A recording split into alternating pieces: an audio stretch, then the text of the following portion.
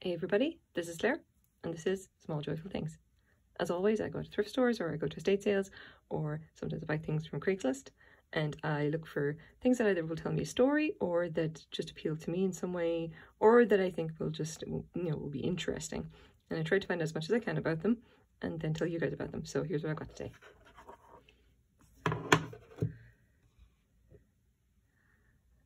Glad to say this. I hope this actually sparkles as much on camera as it does like in, in real life. I don't think you get the kind of the same effect, I don't think. Um, this is obviously cut crystal. Uh, the inside is completely smooth. It is cut on the other side and it is quite rough. and maybe you can see it a little if I just turn to the light and just let it kind of do its thing. Now, before you get excited, this is not a brilliant American Brilliant cut, which I was so disappointed by. But anyway, let's measure it up. It is, let's say about, let's say six and a quarter inches across, the widest point. And I have to say, incredibly difficult to measure it, uh, the height of it. But we'll have a go. Can I do this with only this many hands? Okay, I'm going to say it is an inch and a quarter high. And I'm not going to try any harder than that because I may drop it. And God knows I've broken enough things on camera at this point. Okay, so like basically what we can say about this, I, I bought this in a thrift store, I paid about $4 for it. And this was part of actually a larger display that, that the particular thrift store had out. They had a lot of this kind of cut crystal or pressed crystal in this style. And there was, of all the pieces that were there, this was the only one that I picked up and thought, this is quality. And to be honest, I, I kind of wasn't 100% sure if it was ABP, you know, Amer American Brilliant Period or American Brilliant Cut. Uh, I wasn't sure if it was that type of glass. I just picked it up and thought this is good stuff. So chances are maybe it is. And at that particular day, I left my black light at home and I really should have brought it with me and checked it because have it here. If I just turn my light off for a second, so it goes dark. Yeah.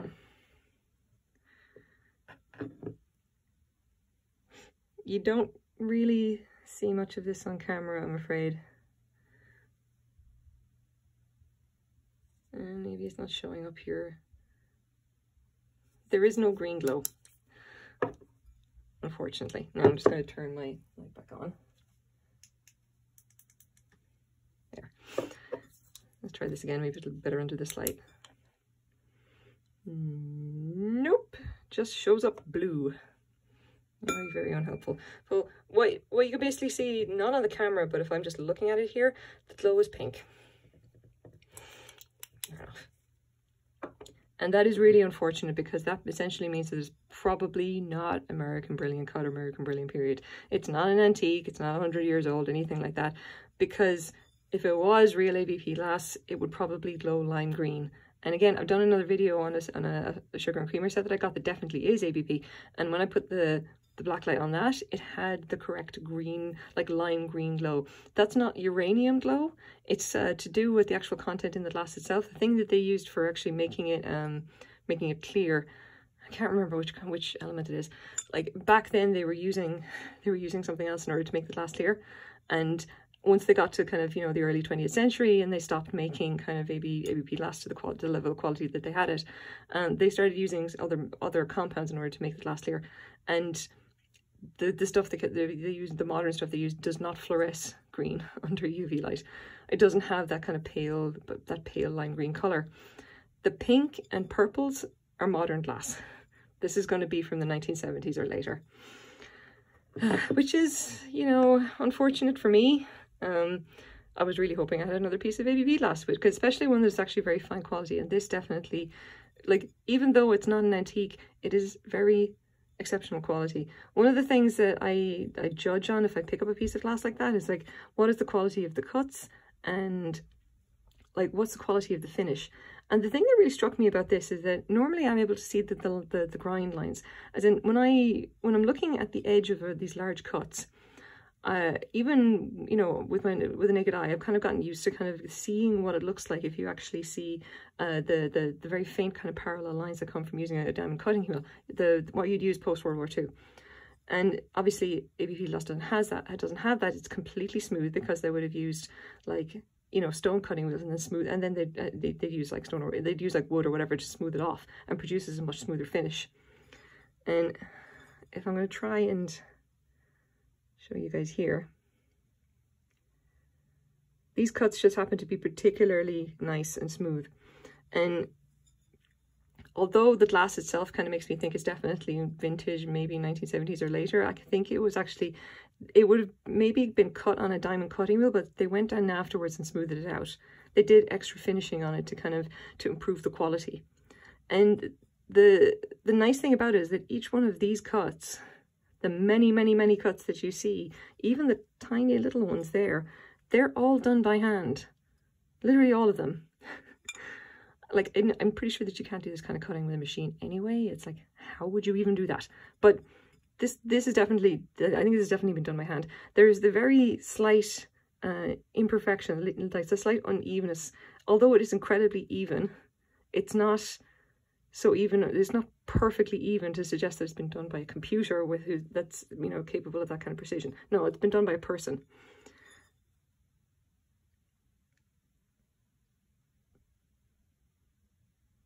you can even see where, where the lines have just kind of, you can see where the, the cuts have crossed over each other as they were actually doing them. And it really is like that, that kind of stuff is really, is really something special, especially at the level of detail that this is. This is tiny. Again, it's only six inches across. That's a lot of detail. Now, the nice thing about the pattern is that they put a lot of work into these patterns. There is so much going on here. If you actually want to take a read up of what kind of patterns were show up in in cut crystal, like there's a lot of them and there's every possible variation of them. What we've got here is, if I try and get, I'm going to try and get close. So this piece here would be a hob star, as far as I know. The bit in the center is a Bristol star, which is kind of a variation on that. Then we've got, uh, let's see, let's see if I can do this. Then we've got these little pieces in the corner here. And as far as I can tell, that's that's uh, that's Daisy and Button. And then we've obviously just got the plain, the plain crisscrosses here, which is just, you know, crisscross lines. And then we have these here, which is a strawberry. And then obviously we've got the sawtooth that we're on the edge.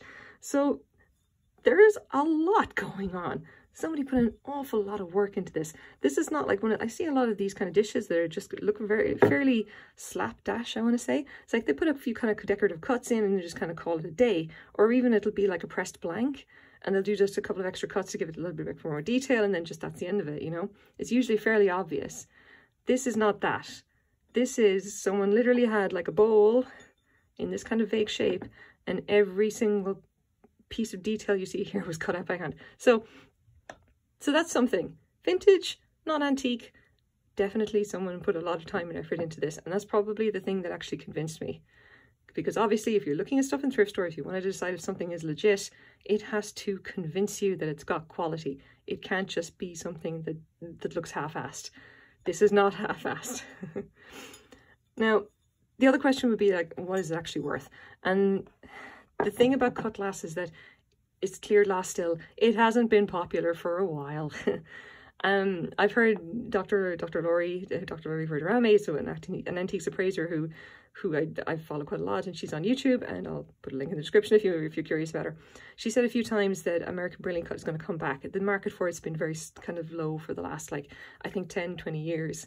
It used to be super, super popular and it used to sell for a ridiculous amount of money. And then the market just kind of went nowhere. Because again, obviously tastes change, but she she's of the opinion that it's going to come back and this kind of stuff is going to start becoming more popular. I don't really know. oh, and for the record, this is quite heavy. Normally a lot of the stuff is incredibly light. This thing has got weight to it. It may be lead crystal. Not 100% sure. Well, you know, leave the jury out on that one. But anyway, if we're taking a look at, if we're taking a look at YouTube, I took a quick look to see exactly what's, like what, essentially what's selling, you know, and I'm looking at just vintage cut crystal and then with a Hobstar design or something similar. And you can see that there are a lot of different pieces, especially the decanters that would have sold for incredibly good money. The only problem is, is that this is only in like the last three months, the last 90 days. This is all that has sold on eBay. And it's only things that are either very unusual or antique vintage ABP brilliant cut, you know, stuff that's, you know, obviously, obviously old and valuable. Now, if you actually just take a look, there's 147 results for just that. Eh, yeah, in different types and you know different kind of variations of it and everything. So there you have it. I'm not sure if uh, I'm not sure if that market's going to come back, but you never know. This is still fairly nice. I bought it for four dollars. I'm probably going to put it up on eBay and maybe sell it for fifteen or twenty. Yeah, I think I still think it's worth it because you know I like the quality and I, I I'm always in favor of stuff that has that has clearly been made with care and attention. So this is my small joyful thing for today. Thanks very much for watching, guys. Bye bye.